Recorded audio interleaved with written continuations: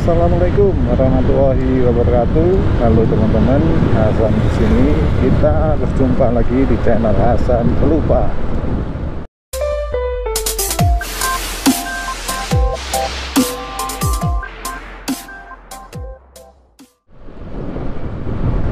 Oke teman-teman, jadi seperti janji aku pada video sebelumnya ya Untuk video kali ini aku akan tetap melanjutkan Untuk melakukan pemantauan ya di kawasan alun-alun Kota Batu Yang mulai kemarin ya Artinya sudah satu hari ini kembali dibuka untuk umum teman-teman. Sebelumnya sih kawasan alun-alun Kota Batu sempat ditutup sejak tanggal 3 Juli lalu teman-teman. Sejak pemberlakuan PPKM darurat ya. Nah sejak itu pula kawasan alun-alun Kota Batu tertutup untuk umum teman-teman dan baru dibuka mulai kemarin hari Jumat tanggal 22 Oktober ya. Dan sekarang kita akan coba melihat untuk suasana di kawasan alun-alun pada saat malam hari teman-teman. Dan saat ini kebetulan adalah hari Sabtu ya atau malam minggu. Nah biasanya kawasan alun-alun akan dibanjiri oleh pengunjung nah setelah alun-alun dibuka seperti kondisi, seperti apa kondisinya kita akan coba saat lagi teman-teman. Dan untuk mengawali video aku kali ini aku memang mengambil jarak yang lumayan cukup jauh dari kawasan alun-alun karena aku juga ingin menunjukkan kepada kalian bagaimanakah suasana kota Batu pada saat malam minggu teman-teman. Nah ini sekarang aku sedang berada di kawasan Jalan Panglima Sudirman untuk menuju ke arah alun-alun Kota Batu kita harus memutar lewat jalan berantas teman-teman.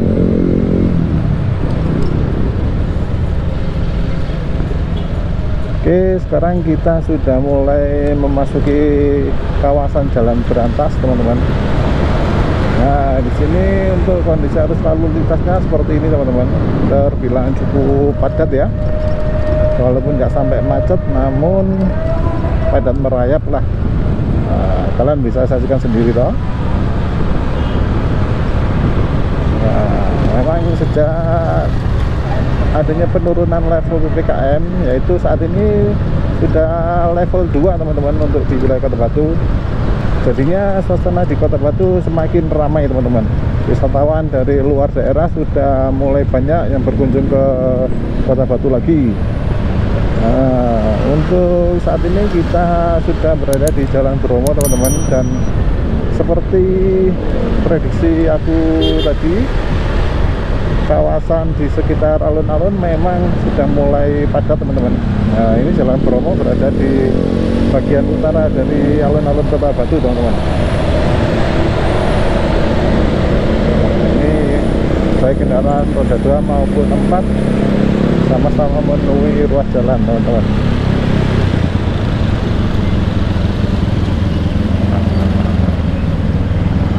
Wih, mulai macet.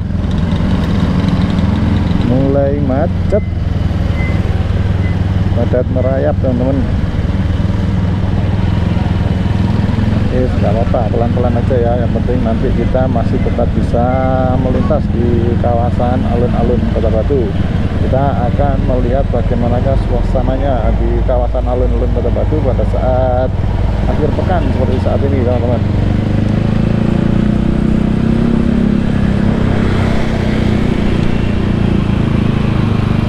Nah sekarang kita sudah berada di kawasan Jalan Semeru teman-teman dan kondisinya masih tetap padat merayap teman-teman Oh, ini kendaraan yang mendominasi di sini kendaraan dari Surabaya dan Sidoarjo, teman-teman. Ini terlihat dari plat nomor mobilnya ya, yaitu L dan W. Nah, suasananya seperti saat ini, teman-teman. Uh, macet.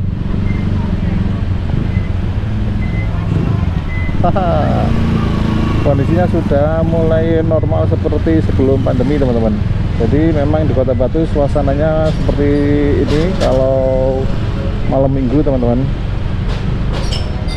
Nah ini motor aja sampai sulit loh untuk melintas di jalur ini. Kita ambil lajur kiri aja teman-teman.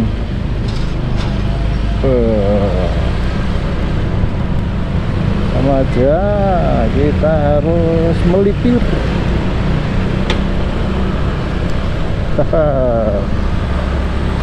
Nah untuk kawasan alun-alunnya sendiri sudah dekat teman-teman. Tinggal beberapa puluh meter lagi di depan kita ya.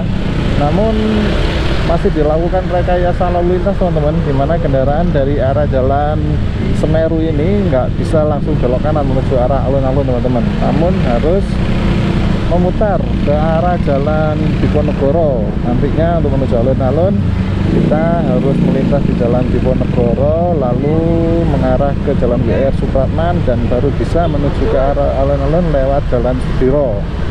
Seperti itu teman-teman.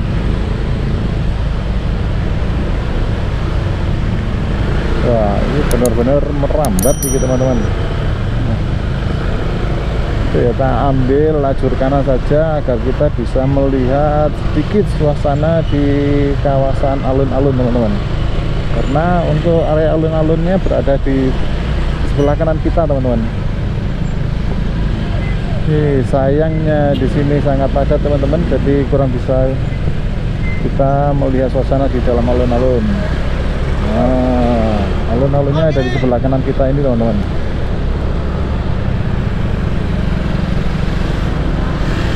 Hmm, suasananya sangat padat teman-teman. Es kita nanti melihat lebih dekat kawasan alun-alun setelah kita memutar aja teman-teman. Kita akan memutar lewat jalan Diponegoro. Saat ini kita melintas di jalan Diponegoro ya. Nah tuh jangan macet eram. Yuk sing ini batu ruwet. Pokoknya urusan di pariwisata jadi ruwet harus melintasi. Oke sekarang kita belok menuju ke arah WR Supratman teman-teman. Ini kita nggak lewat jalan Sudiro teman-teman namun kita coba melihat di jalan Agus Salim saja. Mudah-mudahan bisa melintas di sana ya. Jadi nanti kita akan tembus di sebelah kiri dari alun-alun Kota Batu. Atau di bagian timur ya dari alun-alun. Nah, semoga kita bisa belok kanan teman-teman ke arah alun-alun. Karena seperti yang bisa kalian saksikan sendiri kondisinya saat ini sangat macet teman-teman. Wow. Wow wow wow wow, wow. wah untung bisa belok kanan teman-teman. Tapi ini juga tetap macet. Huh batu batu. Pesonamu.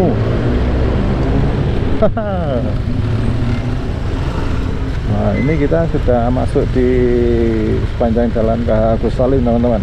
Dan untuk kawasan alun-alunnya tinggal sekitar 50 meter lagi lah. Ini melipir-melipir roda berasa-berasa wis mbak Momo pokoknya nyampe ya ini diperparah dengan kondisi jalan yang sedang diperbaiki teman-teman karena Pemprov Batunya saat ini sedang melakukan pembenahan kawasan pedestrian ya.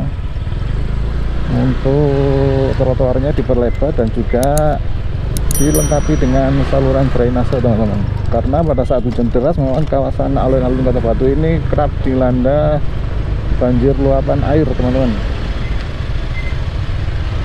harapannya sih dengan pembangunan saluran drainase yang baru ini nantinya tidak akan terjadi lagi hal, -hal seperti itu.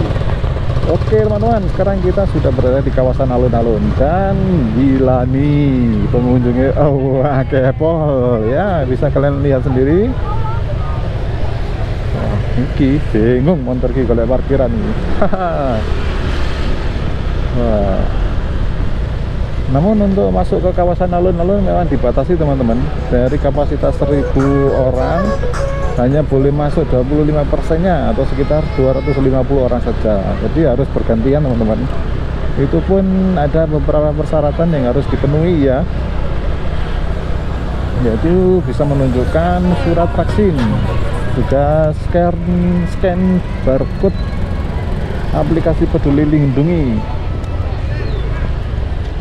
wih macet total. Dan untuk anak kecil boleh masuk teman-teman. Namun harus dengan pendampingan orang tua. Wih wih kalian bisa saksikan sendiri. Area parkirnya membludak teman-teman. Termasuk juga para pejalan kakinya. Oh.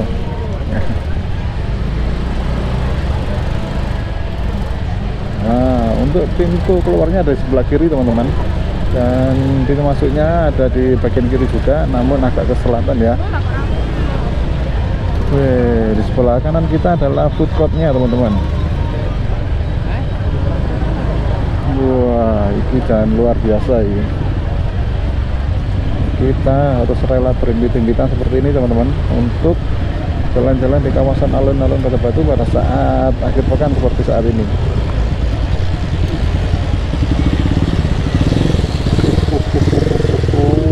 dan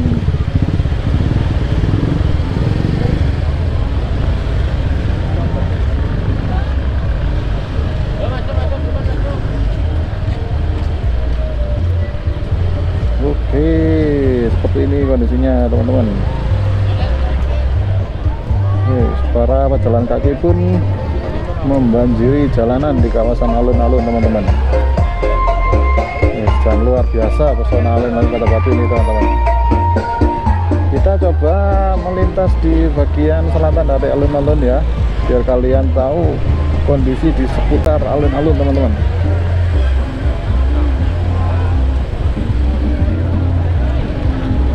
Wih. Uh, uh, uh, itu. Kalian bisa saksikan sendiri. Untuk parkirnya saja di kanan kiri jalan penuh dengan kendaraan roda 2 dan juga roda 4 dari para pengunjung.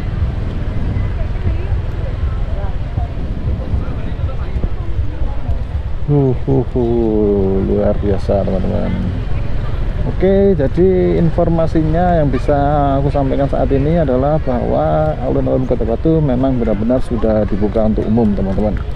Jadi mulai Jumat kemarin ya, semoga seterusnya akan dibuka seperti ini, teman-teman. Ya, yang penting kita saling menjaga diri ya. Tetap terapkan prokes dengan ketat, teman-teman. Harus pakai masker pada saat keluar rumah, apalagi di tempat umum seperti ini teman-teman. Nah ini mobil di depan anda di, mobil di depan kita ini aja nggak dapat tempat parkir teman-teman. Jadi cuma memutar aja di kawasan sini karena memang sudah penuh. Oke. Jadi seperti itu ya teman-teman untuk gambaran di kawasan alun-alun kota Batu. Jadi terserah kalian setelah melihat kondisi seperti ini masih nekat datang ke sini atau memilih hari-hari biasa yang tidak terlalu ramai pengunjung. Nah kalau di akhir pekan ya kondisinya seperti ini teman-teman. Nah kalau ingin nyaman ya datang di luar akhir pekan ya. Oke teman-teman jadi seperti itu saja ya informasi yang bisa aku berikan saat ini. Kita berjumpa lagi di video aku selanjutnya terima kasih sudah menonton. Semoga kalian tetap sehat selalu. Oke wassalamualaikum warahmatullahi wabarakatuh